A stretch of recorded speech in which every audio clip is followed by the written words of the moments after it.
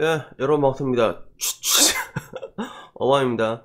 요즘 보면 좀 약간 유튜버들이 뭐 하루에 하나씩 뭐 이렇게 터지는 것 같아. 그래서 뭐 야쿠르트도 또 2차로 터진 것도 있고 갑소 목장도 터진 게 있고 뭐 이런저런 얘기들을 많이 해달라는데 일단 오늘 제가 픽업한 거는 아하 부장님이라고 현재 이 아하 부장님이 일베 유저 의혹 논란이 일어나고 있거든요. 그래서 저도 이분 유튜버 채널을 잘 봐요. 저도 실제로 굉장히 꿀팁 같은 걸 많이 제공을 해가지고 이거 보신 분들이 많을 거예요. 그래서 흑종원이라고 불리는 약간 그냥 소규모 자영업자를 위해서 MSG 영업소 레시피를 가감하게 공개를 했거든요. 그래서 이게 진짜 엄청 빨리 뜨신 요리 유튜버 중에 한 분이죠.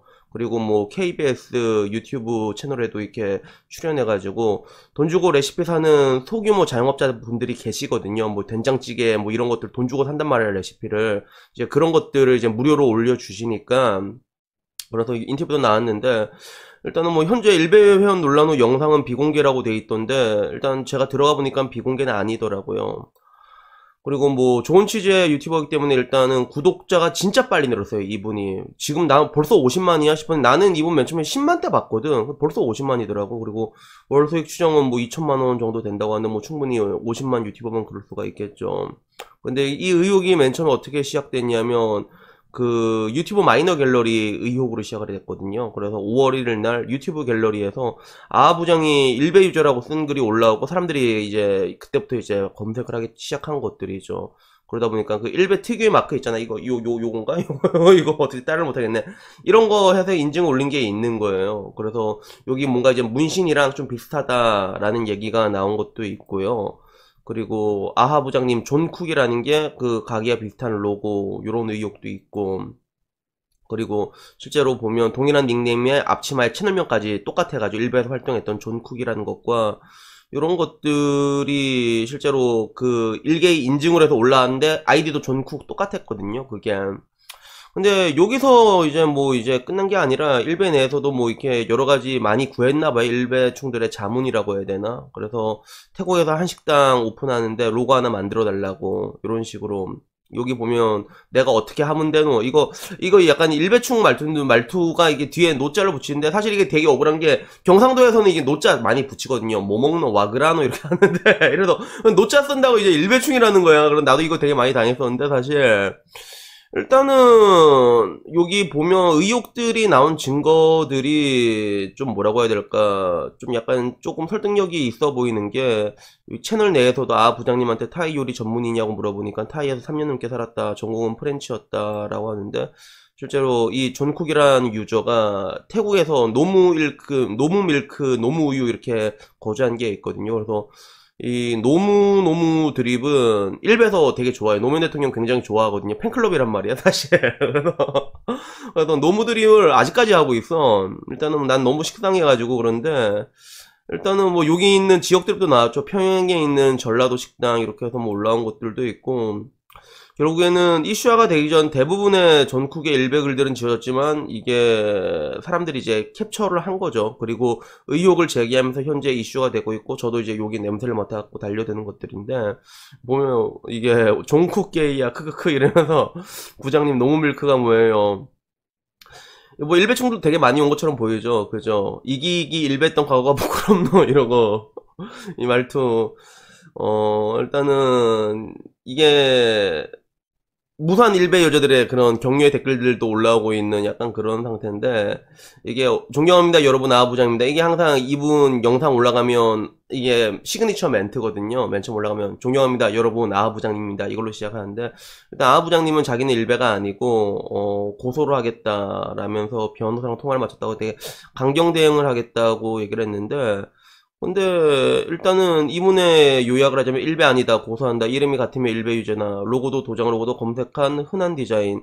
태국에 있던 거 맞다 여러 나라를 다녔지만 기억은 안 나지만 뭐 여러 가지 결국에는 이제 아니다 라고 이제 하고 있는데 근데 이게 댓글들이 올라온 거 보면 이게 좀 맞는 것 같아요. 2016년에 태국에서 종쿡버 가실 때 인스타그램 아이디가 무엇이었잖아요 일베 의혹 글에 태국에서 일베 인정하고 종쿡버거 사진 올라온 거 개신년도 2016년이고 이메일로 보내라고 하죠. 그때 이제 이메일로 보내라고 했잖아요. 그게 똑같은가 봐요. 그게 그래서 그냥 고소한다고 될 게 아니라 바로 몸 문신 공개하시면 되잖아요. 문신이 무슨 넣었다 뺐다는 것도 아니고 이미 몸에 박아놓은 문신 찍어서 올린 게 그렇게 어려워. 어떻게 보면 맞는 말이죠. 그죠? 이게 정말로 아니다. 억울, 이게 억울하다 싶으면 그냥 몸에 문신이 있으니까 문신 다른 것만 그냥 인증하면 해결되는 부분이잖아요.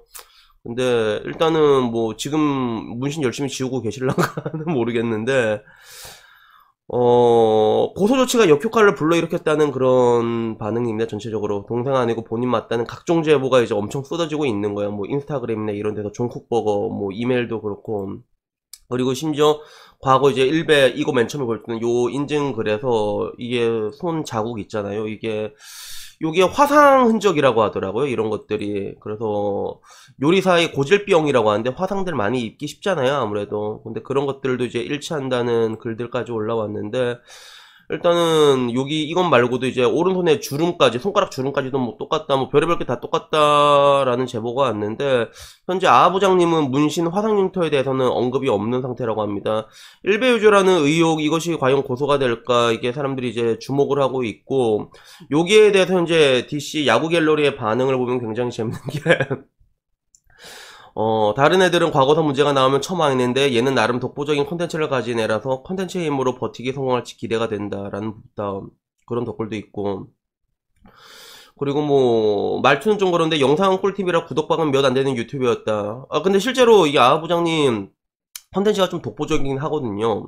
그래서 이 사람들의 반응이 약간 꿀잼 같은 거 DC에서는 이런 걸 이제 꿀잼 같은 느낌으로 보고 있거든요. 그래서 제 영상 근데 너무 꿀팀이 와서 구독 취소 별로 안 될 거다. 덧글만 존나 까겠지. 개병신 한국 유튜버들 병신짓만 하는 와중에 진짜 정보 채널 제대로 된 곳이 저기거든 이라는 얘기가 나왔고 그래서 사람들의 반응 약간 이런 식으로 나온 것 같아요 현재 뭐 이제 내일은 아니니까 다 팝콘 먹으면서 구경을 하고 있는데 일단은 지금까지 올라온 의혹을 정리하자면 요 정도로 어 마무리가 될 것 같습니다 어, 우선 저는 이 사태를 보고 나니까 몇 가지 이야기가 하나 떠오르더라고요. 그래서 그 중에 하나가 뭐였냐면, 옛날에 안녕하세요에, 그, 와이프가 야동이 나온 것 같다. 이렇게 의심하는 남편이랑 같이 나온 적이 있었거든요.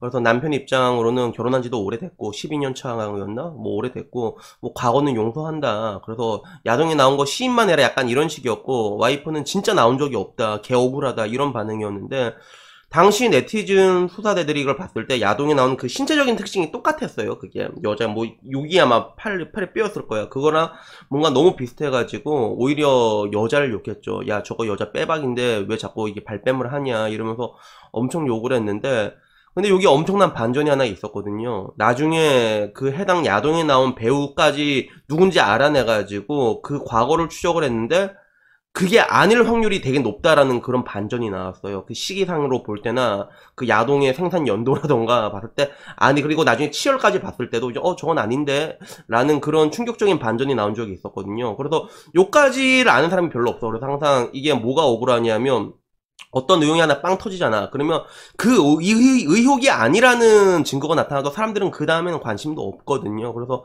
그 와이프 입장에서는 굉장히 억울하지 않았을까라고 이렇게 생각이 드는 그런 사건이 있었는데 이번 아하 부장 사건도 저는 뭐 같은 맥락이라고 보거든요. 뭔가 이제 문신이라던가 이제 화상 흉터라던가 좀 비슷한 것들이 많고 그런 여러 가지 제보가 쏟아져 나오는데 뭐 어디까지나 이게 반전이란 것도 일어날 수가 있거든요 항상. 반전이기 때문에. 그렇기 때문에 아니라면 아부장 입장에서는 굉장히 억울하지 않을까라는 생각이 드는 게 일단 첫 번째였고 그리고 두 번째는 뭐 일단 그게 100번 양보해 가지고 정말로 일배충이라고 가정을 했을 때도 이게 고소가 될 것인가? 이것도 뭔가 좀 웃기지 않네. 이게, 이게 그런 것도 좀 약간 웃기고 뭐 명예훼손 같은 걸로 이렇게 될 수 있을란가 그래서 어떻게 보면 이 영상을 다루는 나도 이제 그런 고소가 영역으로 들어갈 수 있을랑가 일단 그건 모르겠는데 일단 그런 부분에서 이런 것들이 좀 웃기다는 생각도 있고 마지막으로 제가 생각을 했을 때 사실 저는 이 사태를 이렇게 별 아무렇지 않게 보고 있어요. 아무렇지 않게 보고 있는 이유가 뭐냐면 방금 마지막 댓글 반응이 나온 것처럼 실제로 아하 부장의 유튜브에 나오는 레시피는 굉장히 독보적이거든요. 그래서 나도 이제 요리를 하지만서도 요리 채널 보는 게 몇 개 없는데 그 중에 하나가 아하 부장님이에요. 그래서 고기 보면 뭐 똑같이 이제 국수를 만들더라도 잔치국수를 만들더라도 뭐 5분짜리 레시피 있고 뭐 1시간짜리 레시피 있고 이런 것들 다 나와서 설명을 해주거든요. 근데 5분짜리인데도 맛있게 잘 나온 게 있단 말이야. 그래서 집에서 간단하게 요리해 먹는 좋아하는 저로서는 진짜 꿀팁들이 되게 많거든요. 그게. 그래서 내가 이것들을 봤을 때, 내가 이것들을 봤을 때, 사실, 그, 좀 이게 채널의 타격이 얼마나 클까를 봤을 때 그렇게 크지 않을 거라고 내가 본 이유가 너무 독보적인 그런 컨텐츠거든요. 그게 그런 게 있어가지고 이 지금 이제 갑소목장 같은 경우는 갑소목장이라고 또 하나 터진 게 있거든요. 그 사람은 하루 이틀 만에 거의 20만 구독자가 빠져나갔거든요. 유튜브에서 거의 역대 유리 없는 20만의 단기간에 이탈한 그런 뭔가 기로 아닌 기록을 세웠는데 아 하 부장은 내가 그렇게까지 빠져나갈 거라고 보진 않는 게 빠져나가는 사람들이 있으면 일배충들은 자기네끼리 밀어주고 당겨주는 게 있단 말이에요. 다시 이제 일배충들끼리 유입이 되거든. 그래서 그런 것들이 벌어져가지고 저는 우선 여기에 대한 핵심적인 쟁점의 논쟁은 그게 일단 아 부장이 일배냐 아니냐를 떠나가지고 저는 이 사건을 또 어떻게 보고 있냐면 내가 가지고 있는 이중성에 난또 이렇게 놀라고 있는 거야. 내가 가지고 있는 이중성이란 게 뭐냐면 제일 먼저 아부장 이게 터졌을 때 내가 보자마자 지금 제가 하고 있는 일은 뭐냐면 아부장 레시피를 제가 다운받고 있거든요. 왜 다운받냐면 혹시라도 비공개될까봐 진짜로 사라질까봐 이걸 다운받는데 이 모습이 옛날에 그런 것 같아요. 저도 옛날에 일베를 들어갔던 적이 있거든요. 그래서 지금은 안 들어간 지 엄청 오래됐지. 요새는 재미가 없어요, 일베가. 근데 옛날에 이거 가본 사람은 알 거예요. 2000, 2011년 그때쯤이었나? 그때는 일베가 되게 재밌었어요. 그래서 재밌다는 얘기가 뭐냐면 그 여러분들이 봤던 엄청나게 많은 유머 자료 중에서 일베에서 찍어낸 게 엄청나게 많았어요. 그 당시에는. 그래서 초창기에 일베는 약간 뭐 DC 똥 받아먹는 사이트로 큰 그런 게 있었는데 실제로 실제로 굉장히 많은 유머 자료를 이렇게 받아냈거든 찍어낸 그런 게 있었거든요. 근데 지금 와서는 거기에 있는 진성 일베충이라고 해야 되나 그 재미없는 그런 정치 정치충들이 그 재밌는 걸 찍어낸 애들을 전부 다 쫓아냈단 말이야. 다 정치 얘기만 하고 이제 정치에 미치는 그런 정치병들만 남아갖고 일베가 뭐 사실상 망했다 해도 과언이 아닌데 그래서 그때는 나도 이제 일베 그런 거 들어가서 유머 같은 걸 봤거든. 그래서 일베 욕하면서도 일베 들어가는 그 유머를 봤단 말이야.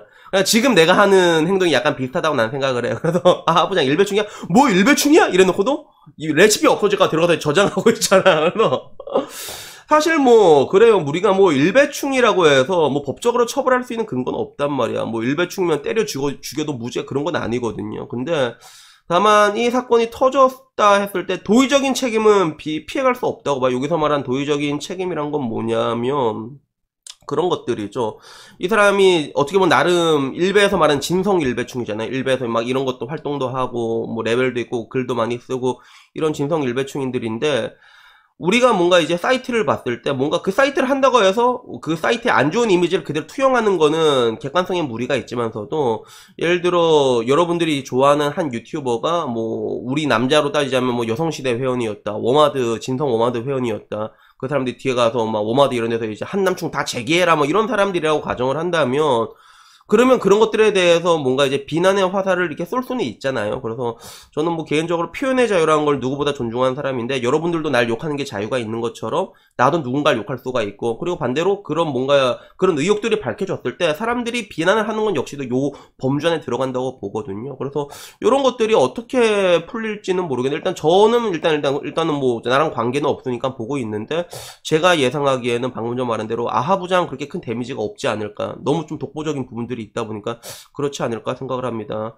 여튼간에 뭐 지금 부장님 입장에서는 이 상황을 어떻게 타개할까 생각을 하는데 만약에 아니라면 만약에 아니라면 그냥 문신 이게 딱 까면 옛날에 나오나처럼 이게 바지를 내리면 믿겠습니까? 약간 이런 느낌이잖아. 그래서 그거 안 하면 종료가 될 것 같은데 이렇게 확실하게 뭔가 해명이 안 하면 의혹이란 게 더 올라가게 돼 있거든요. 근데 방금 좀 말한 것처럼 뭔가 반전이란 건 언제든지 일어날 수 있으니까 여기에 대해서 우리가 정확하게 밝혀지기 전까지는 중립결을 받는 게 맞다고 보고 아무쪼록 뭐 여기에 대해서는 의혹은 아직까지 의혹이니까 그냥 보다가 막 그게 밝혀진다 하면 거기서 뭐 돌 던지고 싶은 사람 가서 돌 던지면 되는 것들이고 그리고 돌 던지는데 너무 비난이 비난의 화살이 너무 높아갖고 고소 먹으면 또 거기 법정 가갖고 이제 뭐 벌금 내면 되는 것들이고 결국에 딱 요 정도의 문제라고 저는 생각을 합니다. 그래서 여튼간에 뭐 오늘 이야기는 여기까지고요. 음, 뭐 여러분들이 어떻게 생각할지 모르겠는데 그냥 보면 그냥 재밌는 일들이 요새 하나하나 터지니까 한번 끌고 와봤습니다. 여튼간에 뭐 오늘 이야기는 여기까지고 다음에는 뭐 좀 더 재밌는 얘기 있으면 그것도 다시 한번 끄집고 오도록 하겠습니다. 이상입니다. 감사합니다. 존경합니다.